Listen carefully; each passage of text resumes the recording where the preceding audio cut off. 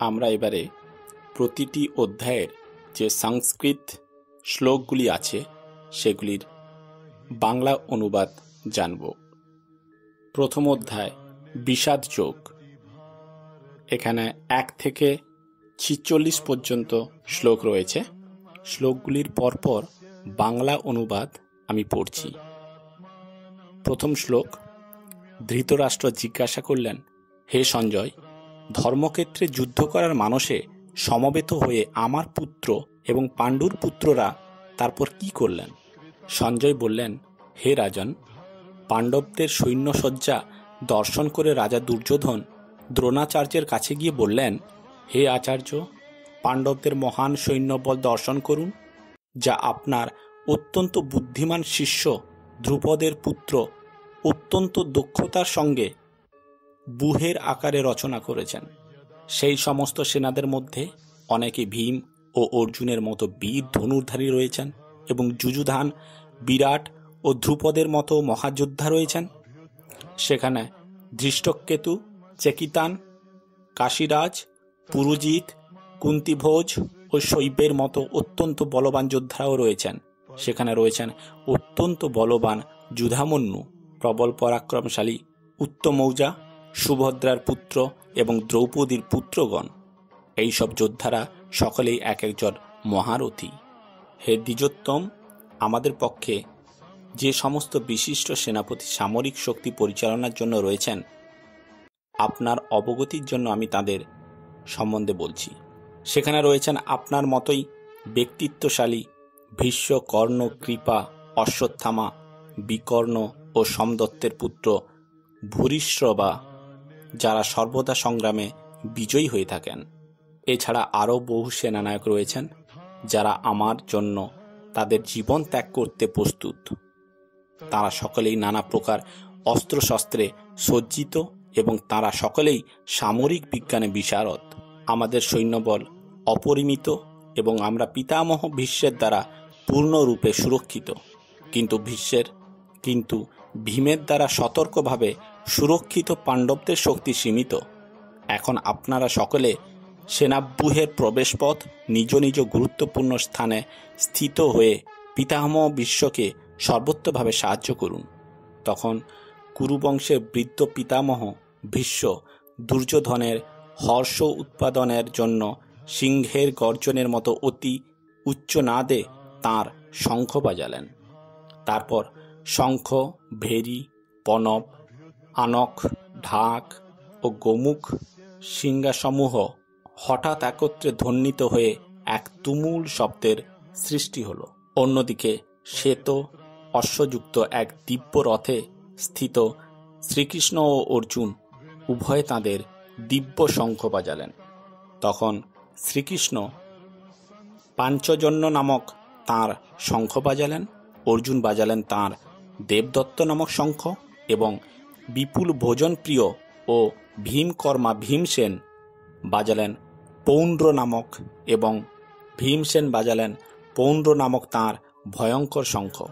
কুন্তিপুত্র মহারাজ, যুধিষ্ঠির অনন্ত বিজয় নামক শঙ্খ বাজালেন এবং নকুল ও সহদেব বাজালেন সুঘোষ ও মণিপুষ্পক নামক শঙ্খ।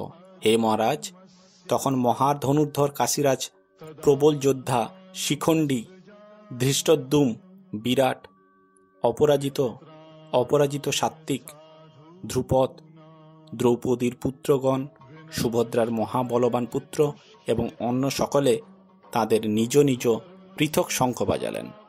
শঙ্খ নিনাদের সেই প্রচণ্ড সব আকাশ ও পৃথিবী প্রতিধ্বনিত করে ধৃতরাষ্ট্রের পুত্রদের হৃদয় বিদারিত করতে লাগল।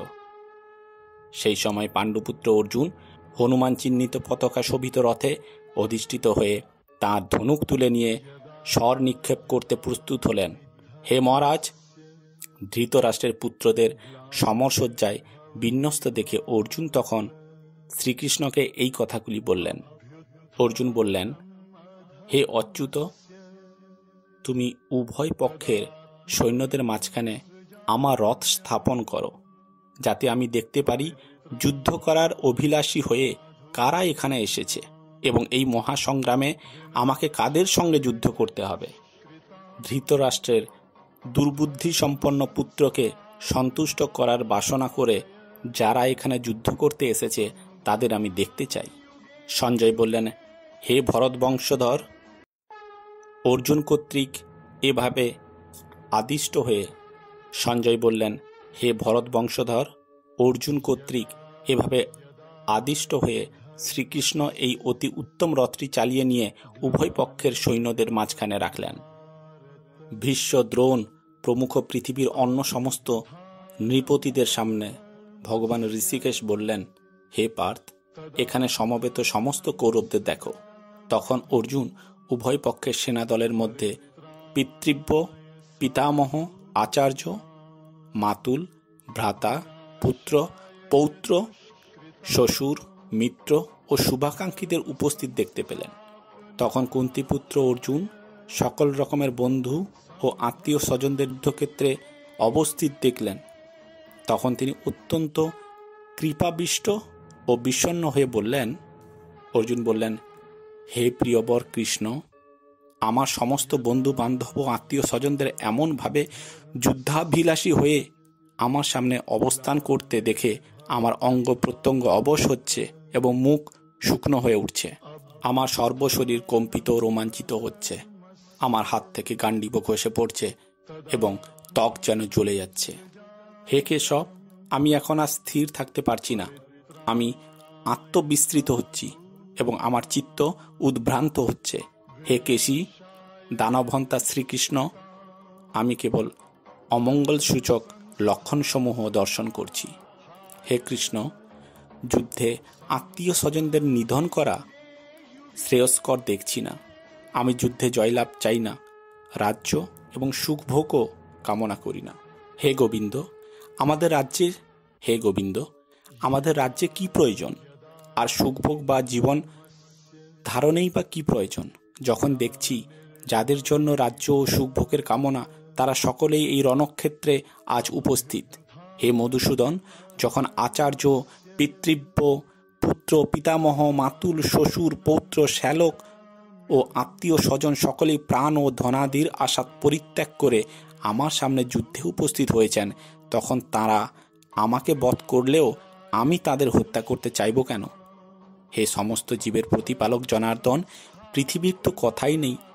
এমনকি সমগ্র ত্রিভুবনের বিনিময়েও আমি যুদ্ধ করতে প্রস্তুত নই। ধৃতরাষ্ট্রের পুত্রদের নিধন করে কি সন্তোষ আমরা লাভ করতে পারব? এই ধরনের আততায়ীদের বধ করলে মহাপাপ আমাদের আচ্ছন্ন করবে। সুতরাং বন্ধু বান্ধব সহ ধৃতরাষ্ট্রের পুত্রদের সংহার করা আমার পক্ষে অবশ্যই উচিত হবে না। হে মাধব, লক্ষ্মীপতি শ্রীকৃষ্ণ আত্মীয় স্বজনদের হত্যা করে আমাদের কি লাভ হবে? আর তা থেকে আমরা কেমন করে সুখী হব? হে জনার্দন, যদিও এরা রাজ্য লোভে অভিভূত হয়ে কুলক্ষয়জনিত দোষ ও মিত্রদ্রোহ নিমিত্ত পাপ লক্ষ্য করছে না, কিন্তু আমরা কুলক্ষয়জনিত দোষ লক্ষ্য করেও এই পাপকর্মে কেন প্রবৃত্ত হব? কুলক্ষয় হলে সনাতন কুলধর্ম বিনষ্ট হয় এবং তা হলে সমগ্র বংশ অধর্মে অভিভূত হয়। হে কৃষ্ণ, কুল অধর্মের দ্বারা অভিভূত হয়ে কুলবধূগণ ব্যভিচারে প্রবৃত্ত হয় এবং হে বার্ষেয় কুলস্ত্রীগণ, অসৎ চরিত্রা হলে অবাঞ্ছিত প্রজাতির উৎপন্ন হয়।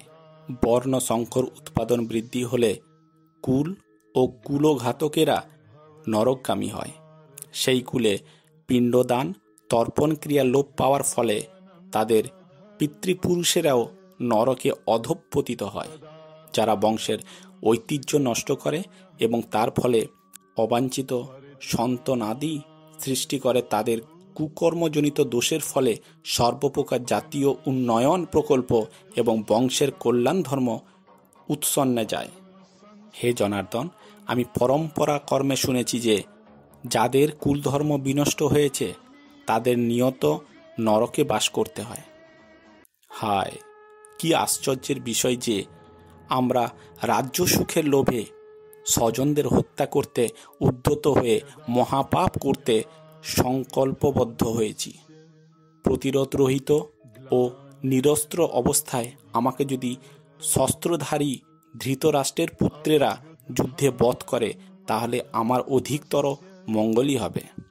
সঞ্জয় বললেন, রণক্ষেত্রে এই কথা বলে অর্জুন তার ধনুর বাণ ত্যাগ করে শোকে ভারাক্রান্ত চিত্তে রথপরি উপবেশন করলেন।